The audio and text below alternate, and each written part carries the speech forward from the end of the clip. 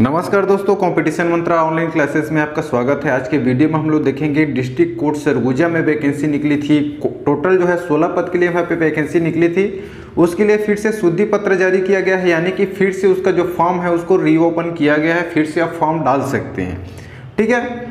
तो इसके बारे में पूरा डिटेल्स वीडियो देखेंगे कि आयु क्या है, क्या क्या योग्यताएँ मांगी गई है और कौन कौन से पोस्ट जो है निकाला गया है। आवेदन प्रस्तुत करने की अंतिम तिथि यहाँ पे है 25 फरवरी 2023 को शाम पाँच बजे तक आपका जो है स्पीड पोस्ट के थ्रू जिला एवं सत्र न्यायाधीश सरगुजा के ऑफ़िस में पहुँच जाना चाहिए कार्यालय में, ठीक है? तब आपका जो फॉर्म है वो एक्सेप्टेबल है। और इसके लिए पूर्व में भी नोटिफिकेशन जारी किया गया था 22 नौ 2022 में तो यहाँ पे बताया गया है कि उक्त भर्ती प्रक्रिया अंतर्गत पूर्व में जिन अभ्यर्थियों के द्वारा आवेदन पत्र प्रस्तुत किया गया है, उनके प्राप्त हो चुके आवेदन पत्र स्वीकार किए जाएँगे तथा उन्हें पुनः आवेदन पत्र प्रस्तुत करने की आवश्यकता नहीं हो। लेकिन जो लोग फॉर्म अप्लाई नहीं कर पाए हैं, वो 25 दो 2023 तक फॉर्म भर सकते हैं और ये ऑफलाइन मोड है दोस्तों। इसके लिए जो है कौशल परीक्षा का भी आयोजन होगा। ठीक है, सीधी भर्ती है, लेकिन यहाँ पे आपका कौशल परीक्षा का भी आयोजन किया जाएगा। और यहाँ पे सिर्फ़ छत्तीसगढ़ के नहीं दोस्तों, भारतीय नागरिकों से निर्धारित प्रारूप में आवेदन पत्र आमंत्रित किए जाते हैं। बाहर से भी दूसरे स्टेट्स के लोग भी यहाँ पे डाल सकते हैं, लेकिन जो आरक्षित है, कुछ आरक्षण जो रखा गया है, वो सिर्फ़ छत्तीसगढ़ के मूल स्थानीय निवासियों के लिए है, जो आगे हम लोग देखने वाले हैं। ठीक है? यहाँ पे पोस्टों की संख्या बात करें दोस्तों तो सहायक ग्रेड तीन के समकक्ष जो पोस्ट हैं, उसमें टोटल ग्यारह पोस्ट हैं। ठीक है? आप यहाँ पे कैटेगरी वाइज देख सकते हैं। वाहन चालक का पोस्ट भृत्य का एक पोस्ट है। सहायक ग्रेड तीन संविदा कोर्ट मैनेजर अमला में एक पोस्ट है। और आकस्मिक निधि से वेतन पाने वाले जो कर्मचारी के पद होते हैं, जैसे कि चौकीदार और स्वीपर, उसके दो पोस्ट हैं। यहाँ पे साफ़ साफ़ शब्दों में बोला गया है कि कार्यालयीन विज्ञापन क्रमांक 11 एक 2022 कोम्बिकापुर, दिनांक 22 नौ 2022 में लिखित शेष भर्ती नियम, निर्देश यथावत रहेंगे। यानी कि यहाँ पे सिर्फ़ शुद्धि पत्र जारी किया गया है। आपको जो फॉर्म का प्रारूप है 22 नौ 2022 को जो पुरानी भर्ती निकाली गई थी, वहाँ से फॉर्म का प्रारूप मिलेगा, कहाँ मिलेगा, कैसे डाउनलोड कर सकते हैं, इसके बारे में आगे देखते हैं। और इसकी जानकारी के लिए आप जो है विज़िट कर सकते हैं district dot e courts dot government in Surguja या तो फिर आप सर्च कीजिएगा डिस्ट्रिक्ट कोर्ट सरगुजा छत्तीसगढ़ तो भी आपको पहला लिंक जो है ओपन हो जाएगा। जैसे ही आप सर्च करेंगे दोस्तों, कुछ इस प्रकार का लिंक ओपन होगा, ठीक है? डिस्ट्रिक्ट कोर्ट सरगुजा का ये शुद्धि पत्र जारी किया गया है, जहाँ पे सिर्फ़ अभी पोस्टों की संख्या बताया गया, जो अभी हम लोग देखे हैं। लेकिन वहाँ पे साफ़ साफ़ बोला गया है कि जो भर्ती प्रक्रिया है, वो पुरानी जो भर्ती नोटिफिकेशन जारी किया गया था, उसके अकॉर्डिंग यथावत रहेगी। और जो ये पुरानी भर्ती है 2022 को जारी किया गया था तो आप जो फॉर्म का प्रारूप है, वो यहाँ से डाउनलोड कर पाएँगे। ठीक है, छठवें नंबर का जो फॉर्म दिखाई दे रहा है पीडीएफ वहाँ डाउनलोड करेंगे तो आपको फॉर्म का प्रारूप और जितने भी प्रक्रियाएँ हैं आपकी योग्यता से रिलेटेड हो गया क्या क्या अर्हताएँ होनी चाहिए, क्या आयु होना चाहिए, वो सारी वहाँ पे दिया गया है, ठीक है? तो यहाँ से आप दोनों डाउनलोड कर सकते हैं। एक तो शुद्धि पत्र है जो एक नंबर में है, छठवें नंबर में है एडवर्टाइजमेंट सीधी भर्ती विज्ञापन 22 नौ 2022 सहायक ग्रेड तीन भृत्य चालक, आकस्मिक निधि। यहाँ से जाके डाउनलोड कर सकते हैं। अब आगे जानते हैं दोस्तों, ये पुरानी भर्ती जो निकला गया था 22 नौ 2022 को जो नोटिफिकेशन जारी किया गया था शुद्धि पत्र जारी होने से पहले उसका है। तो यहाँ पे पोस्टों की संख्या तो वही है और यहाँ पे बोला गया है कि ये जो पदों की संख्या में कमी या वृद्धि की जा सकेगी। अब शैक्षणिक योग्यता क्या होगी सैलरी क्या होगी, उसकी बात करें दोस्तों तो सहायक ग्रेड तीन में छः लेखक प्रोसेसर प्रोसेस राइटर व अन्य पद के लिए वेतन मैट्रिक्स के लेवल चार, यानी उन्नीस हज़ार पाँच सौ से बैसठ हज़ार रहेगी। स्टार्टिंग सैलरी उन्नीस हज़ार पाँच सौ है। शैक्षणिक योग्यता में किसी भी मान्यता प्राप्त विश्वविद्यालय से अनारक्षित वर्ग हेतु न्यूनतम पैंतालीस एवं आरक्षित वर्ग हेतु न्यूनतम 40 प्रतिशत अंकों के साथ स्नातक परीक्षा उत्तीर्ण करने का प्रमाण पत्र होना चाहिए, यानी कि स्नातक वाले डाल सकते हैं। अभ्यर्थियों को कंप्यूटर में हिंदी टाइपिंग की गति 5000 की डिप्रेशन प्रति घंटा होनी चाहिए। गति के संबंध में कौशल परीक्षा का आयोजन भी किया जाएगा। तीसरा में किसी विश्वविद्यालय, राज्य सरकार या केंद्र सरकार द्वारा मान्यता प्राप्त किसी संस्था से डिप्लोमा इन कंप्यूटर एप्लीकेशन प्रमाण पत्र के साथ एम एस वर्ड तथा इंटरनेट का न्यूनतम ज्ञान होना चाहिए। यहाँ पे यदि आप कंप्यूटर कोर्स किए हैं कंप्यूटर कोर्स में कोई सा भी कंप्यूटर कोर्स किए हैं और साथ में आपका स्नातक कंप्लीट हो चुका है, तब आप सहायक ग्रेड थ्री में अप्लाई कर सकते हैं। ठीक है? वृत्त पद के लिए बात करें तो किसी भी मान्यता प्राप्त बोर्ड अथवा संस्था से पांचवी कक्षा उत्तीर्ण होनी चाहिए। आवेदक का रोज़गार कार्यालय में जीवित पंजीयन होना अनिवार्य है। सेवा कार्य करने हेतु तत्पर तथा आवेदित पद से संबंधित कार्य के अनुभव का प्रमाण पत्र संलग्न करें। यदि आपके पास अनुभव है, कहीं पे सेवा कर चुके हैं, कहीं पे काम कर चुके हैं, चाहे वो संविदा भर्ती हो या कहीं पे भी काम कर चुके हैं तो उसका अनुभव प्रमाण पत्र यदि है तो अटैच कर सकते हैं। वाहन चालक पद के लिए देखते हैं तो वेतमान इसका जो है लेवल चार का है, उन्नीस सौ बैसठ रहेगा। वाहन चालक का भी। शैक्षणिक योग्यता पूर्व माध्यमिक शाला कक्षा आठवीं उत्तीर्ण होना चाहिए। हल्का मोटरयान एल का वैध अनुज्ञप्तिधारी लाइसेंस होनी चाहिए। और आकस्मिक निधि से वेतन पाने वाले कर्मचारी, जैसे स्वीपर और चौकीदार पद के लिए वेतमान जो है कलेक्टर सचगुजा द्वारा निर्धारित दर पर है। शैक्षणिक योग्यता यहाँ पे किसी भी मान्यता प्राप्त बोर्ड अथवा संस्था से पांचवी कक्षा उत्तीर्ण वाले जो है अप्लाई कर सकते हैं स्वीपर और चौकीदार के लिए। इसमें रोज़गार के रोज़गार पंजीयन भी आपका जीवित पंजीयन होना चाहिए। और सहायक ग्रेड की संविदा पद के लिए वेतमान जो है नौ हज़ार है, ये संविदा पद है। बाकी जो है परमानेंट जॉब है और संविदा पद भी यहाँ पे है, एक आध पोस्ट उसके लिए जो है, एक मुस्त मासिक वेतन नौ हज़ार रुपये है। इसमें भी सेम चीज़ है जो शैक्षणिक योग्यता है सहायक ग्रेड थ्री में ऊपर देख चुके हैं, वही है, ठीक है? आयु, सीमा एवं पात्रता की बात करें दोस्तों तो यहाँ पे कोई भी उम्मीदवार जिन्हें विवाह के लिए निर्धारित न्यूनतम आयु से पूर्व विवाह कर लिया हो, नियुक्ति के लिए पात्र नहीं होगा। जैसे कि यदि आप यहाँ पे हमारे यहाँ अट्ठारह और इक्कीस साल रखा गया है एज ठीक है? तो उससे पहले यदि आप बाल विवाह कर चुके हैं बहुत छोटे बचपन में तो आप जो है यहाँ पे अप्लाई नहीं कर पाएँगे। आयुर्वेदक की जो आयु है दोस्तों, वो मिनिमम 18 वर्ष होना चाहिए, एक नौ 2022 को। 18 वर्ष मिनिमम आपकी कंप्लीट होनी चाहिए, और अधिकतम जो है 35 वर्ष से अधिक ना हो। लेकिन यदि आप छत्तीसगढ़ राज्य के निवासी हैं तो उसको एज में भी और छूट दिया गया है मैक्सिमम 40 वर्ष तक यहाँ पे अप्लाई कर सकते हैं 18 से 40 साल के बीच। अन्य शर्तें क्या क्या होना चाहिए? तो रोज़गार कार्यालय में जीवित पंजीयन आवश्यक है आपके पास। चयनित उम्मीदवारों द्वारा प्रस्तुत शैक्षणिक योग्यता, जाति निवास प्रमाण पत्र फर्जी पाए जाने की दशा में चयनित उम्मीदवार को सूचना दिए बिना उसकी सेवा समाप्त किया जाकर दांडिक कार्यवाही संस्थित की जाएगी। तो यह तो काम की नहीं है। सातवें नंबर में है यदि विज्ञापित रिक्त पदों के विरुद्ध अत्यधिक संख्या में आवेदन प्राप्त होते हैं तो ऐसे पदों की पूर्ति हेतु लिखित परीक्षा आयोजित की जाएगी, जिसके नियुक्ति हेतु चयन विधि से यथा समय अवगत कराया जाएगा। यदि ज़्यादा फॉर्म यहाँ पे डालता है दोस्तों तो लिखित परीक्षा अलग से ली जाएगी। कौशल परीक्षा तो लिया ही लिया जाएगा, लिखित परीक्षा अलग से और लिया जाएगा ज़्यादा फॉर्म अप्लाई होने की स्थिति में। आवेदन पत्र जो है, प्रस्तुत करने की जो प्रक्रिया है वो कैसे करना है? यहाँ पे इस डेट को मत देखिए दोस्तों, क्योंकि ये पुराने जो एडवर्टाइजमेंट है उसके हिसाब से है। ठीक है? यहाँ पे जो नया शुद्धि पत्र जारी किया गया है, जिसमें डेट आपको दिया है 25 दो 2023 ठीक है? 25 दो 2023 तक आप जो है फॉर्म अप्लाई कर पाएँगे। तो इस डेट पर ध्यान मत दीजिएगा।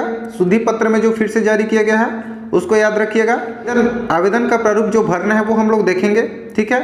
इसके साथ में आवेदन के साथ जन्म तिथि के संबंध में प्रमाण पत्र शैक्षणिक प्रमाण पत्र जिस चीज़ के लिए आप अप्लाई कर रहे हैं। उसको जो है अटैच करना है जाति प्रमाण पत्र स्थायी निवास प्रमाण पत्र रोज़गार कार्यालय का जीवित पंजीयन प्रमाण पत्र शासकीय अर्ध शासकीय संस्थानों में कार्य शासकीय सेवकों को छोड़कर। दिव्यांगता प्रमाण पत्र यदि आप जो है विकलांग हैं तो दिव्यांग प्रमाण पत्र जो है आ, करना पड़ेगा। स्वप्रमाणित छाया प्रति प्रस्तुत करना अनिवार्य है। स्वप्रमाणित कहने का मतलब है जितने भी डॉक्यूमेंट्स हैं आपके पास, उसके नीचे में आपको साइन करके जो है, जो आवेदन हम लोग देखने वाले हैं, उसको भर कर पीछे में अटैच करके जमा करना पड़ेगा। ठीक है? फॉर्म का प्रारूप आगे हम लोग देखेंगे। यहाँ पे कोरियर और ईमेल फैक्स के द्वारा जो है स्वीकार नहीं किया जाएगा। सिर्फ़ और सिर्फ़ जो है पोस्ट के द्वारा ही आप वहाँ पे भेज सकते हैं। यहाँ पे साइड भी दिया गया है। इसी साइड में दोस्तों आपको पता चलेगा एडमिट कार्ड से रिलेटेड जानकारी या चयन सूची जो जारी किया जाएगा पात्र पात्र सूची जो जारी किया जाएगा। आपको उसी साइड में जो है देखने को मिलेगा। और यहाँ पे विशेष है कई बार कमेंट आता है, अभी हाल ही में मुंगेली के लिए जो मैं वीडियो डाला था, वहाँ पे था। वहाँ पे हालाँकि ये पोर्शन नहीं था। यहाँ पे है, कोई अभ्यर्थी एक से अधिक पदों के लिए आवेदन करना चाहता हो तो प्रत्येक पद के लिए पृथक पृथक आवेदन पत्र, पृथक पृथक लिफाफा में प्रस्तुत करना होगा। यानी कि आप दो विभिन्न पदों में डालना चाह रहे हैं तो अलग अलग इन्वॉल्व में उसको डाल के भेजना पड़ेगा। ठीक है? स्पीड पोस्ट करना पड़ेगा। एक ही आवेदन फॉर्म में दो पदों के लिए किया गया आवेदन मान्य नहीं होगा, बिना हस्ताक्षर के प्राप्त आवेदन पत्र पर विचार नहीं किया जाएगा। तो भली भांति जो है, अच्छे से उसको फिल कीजिएगा, जो प्रारूप हम लोग देखने वाले हैं। और यदि आपको इस साइड में देखने में जो है दिक्कत जाती है, ये नहीं मिल पाएगा आपको पीडीएफ तो मेरे टेलीग्राम चैनल के लिंक नीचे दिया हुआ है, वहाँ पे जाके जो है ज्वाइन हो जाइएगा और वहाँ से डाउनलोड कर सकते हैं। आवेदक, आवेदन पत्र पर अभिप्रमाणित पासपोर्ट साइज़ के नवीनीकरण रंगीन फ़ोटो चस्पा करें। रंगीन फ़ोटो जो पासपोर्ट साइज़ है, वो चस्पा करना है। स्वप्रमाणित आवेदन पर, कहाँ पे करना है उसको आगे देखेंगे, ठीक है? डाक द्वारा भेजे गए आवेदन पत्रों के विलंब से प्राप्त होने या नहीं प्राप्त होने की जवाबदारी इस कार्यालय की नहीं होगी तो निर्धारित जो तिथि है उसके पहले ही आप उसको भेज देंगे। ठीक है? नियुक्ति हेतु चयन विधि एवं प्रक्रिया क्या होगी? तो सहायक ग्रेड तीन के लिए कौशल परीक्षा होगी 250 अंकों की होगी। वहाँ पे जो है जो मुंगेली में निकला है डिस्ट्रिक्ट कोर्ट में, वहाँ दूसरा कंडीशन है, यहाँ पे दूसरा है। यहाँ पे कौशल परीक्षा 250 अंकों की होगी।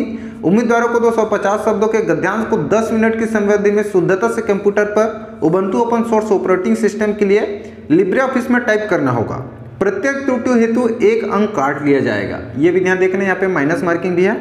दस्तावेज़ परीक्षण में सहायक ग्रेड तीन के पद हेतु अभ्यर्थी को मूल दस्तावेज़ सहित व्यक्तिगत उपस्थित अनिवार्य होगी, जिसमें अभ्यर्थी के दस्तावेजों को परीक्षण किया जाएगा। ये चयन के बाद होगा, ठीक है?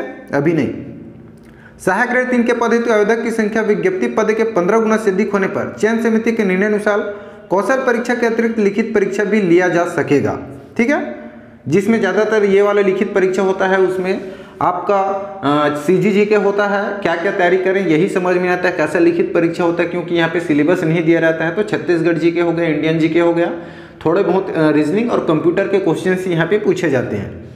अगला देखते हैं, वाहन चालक पद के लिए कौशल परीक्षा होगा, वाहन चालक के पद हेतु पचास अंक का कौशल परीक्षा लिया जाएगा, जो अभ्यर्थी कौशल परीक्षा में अनुपस्थित रहेंगे, उसे चयन के लिए अनर माना जाएगा, यानी कि अनुपस्थित माना जाएगा, ठीक है, ये भी पचास अंक ही होगा दस्तावेज़ परीक्षण भी होगा, ठीक है? यहाँ पे भी पंद्रह गुना की ज़्यादा स्थिति होने पर यहाँ लिखित परीक्षा आयोजन कराया जा सकता है। वित्त पद के लिए देखते हैं तो यहाँ पे चालीस अंक है, लिखित कौशल परीक्षा जो है, साक्षात्कार यहाँ पे दस अंक है। साक्षात्कार भी यहाँ पे दस अंक रखा गया है, टोटल यहाँ पे पचास अंक होगा। और चयन सूची तथा प्रतीक्षा सूची, चयन हेतु अभ्यर्थी की पात्रता पत्र के संबंध में अंतिम निर्णय लेने का अधिकार जिला एवं सत्र न्यायाधीश सरगुजी अंबिकापुर को होगा। उपरोक्त पदों पर मेरिट सूची के साथ प्रतीक्षा सूची भी जारी की जाएगी, जो अधिकतम एक वर्ष के लिए वैध होगी। यहाँ पे मेरिट सूची तो जारी किया ही जाएगा, साथ में एक प्रतीक्षा सूची भी जारी की जाएगी। ठीक है? यदि क्या होता है कई लोग अप्लाई नहीं कर पाते हैं पोस्ट लगता है, फिर भी नहीं जाते हैं तो सीट जो है खाली रह जाती है पद तो उसके लिए प्रतीक्षा सूची भी तैयार किया जाएगा जो कि एक साल के लिए वैलिड रहेगा। ये बोला गया है यहाँ पे।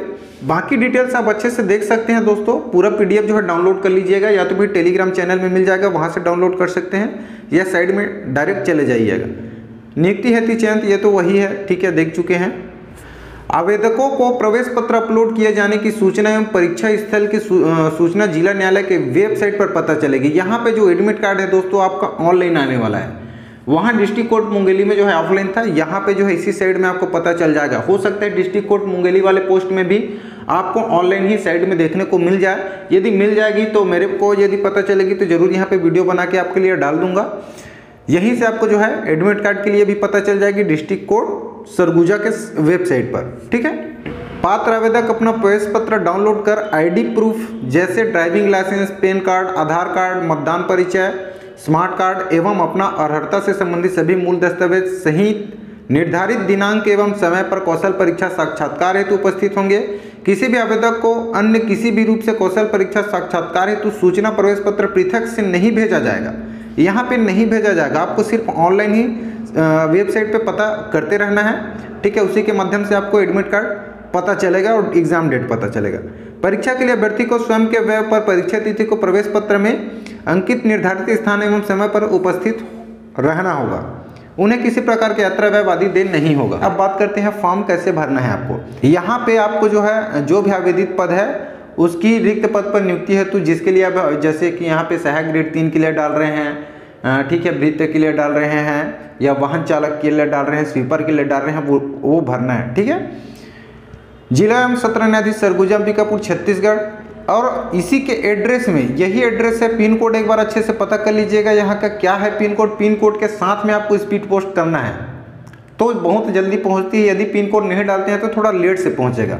जो इन्वलप आप ये तो फॉर्म है, इसको अंदर में डालेंगे। जिस इन्वलप में डालेंगे उसको ऊपर में ये लिखना पड़ेगा। प्रति जिला एवं सत्र न्यायाधीश सरगुजा, अंबिकापुर, छत्तीसगढ़ और पिन कोड ठीक है? यहाँ पे जो आवेदक का स्वहस्तारिक स्वहस्ताक्षरित पासपोर्ट साइज़ का फ़ोटो यहाँ पे चिपकाना है, जिसके बारे में बात कर रहे थे, रंगीन फ़ोटो और उसमें साइन जो है, आधा बाहर में होना चाहिए स्वहस्ताक्षरित आधा जो है फ़ोटो में होना चाहिए, ऐसे सिग्नेचर करना है आपको।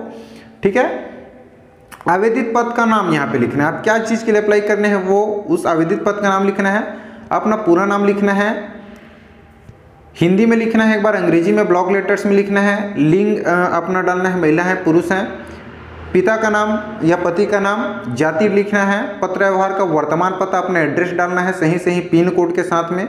स्थायी पता, यदि दोनों एक ही है तो दोनों में सेम पता डाल सकते हैं। जन्म तिथि अपना डालना है, अंकों में, शब्दों में। और बाकी डिटेल्स है, नोवा में क्या आवेदक छत्तीसगढ़ का मूल निवासी है तो हाँ लिखना है। ये सारी चीज़ें हैं, अपनी जाति वगैरह डालना है, कौन सी जाति से आप आते हैं। ये सारी चीज़ें फिल करना है। तेरवा में रोज़गार काले के जीवित पंजीयन क्रमांक। आपका जो रोज़गार पंजीयन बना होगा, उसका क्रमांक यहाँ पर डालना है। कौन से डेट तक इशू किया गया है, कौन से डेट को, उसको भी यहाँ पे दिनांक डालना है। रोज़गार कार्यालय आपका कौन से ज़िले से है, उसको यहाँ पे डालना है। अपनी योग्यता संबंधी जानकारी देना है। जैसे आप छोटे पोस्ट के लिए डाल रहे हैं तो जो आठवीं, पाँचवीं मांगा गया है तो उसके बारे में पूरा डिटेल्स भरना है। उत्तीर्ण होने की तिथि बोर्ड का नाम, विषय और प्रतिशत। यदि आप शासकीय अर्धशासकीय संस्था में सेवारत हैं तो हाँ या नहीं डालना है। क्या आवेदक के विरुद्ध किसी भी न्यायालय में जो है, प्रकरण दर्ज किया गया है तो ये डालना है। यदि हाँ तो हाँ नहीं तो नहीं। संलग्न प्रमाण पत्रों की सूची बहुत इंपॉर्टेंट है। क्या क्या आपको डालना है तो यहीं पे जो है आपको फिल करना पड़ेगा। आपका रोज़गार पंजीयन आप डाल रहे हैं कुछ अनुभव है उसको डाल रहे हैं योग्यता संबंधी जो रिज़ल्ट है उसकी फोटोकॉपी डालेंगे आ, आधार कार्ड डालेंगे जाति निवास प्रमाण पत्र यहाँ पे तो उसको यहाँ पे विवरण देना है ठीक है? और दिनांक स्थान आवेदक के हस्ताक्षर बिना आवेदक के हस्ताक्षर के वहाँ पे जो है बोल दिया गया है कि एक्सेप्ट नहीं होगा तो यहाँ पे ध्यान से इसको भरिएगा ठीक है? उसके बाद आवेदक के दो बार हस्ताक्षर है और नीचे में नाम एवं पूरा पता है दिनांक एवं स्थान है।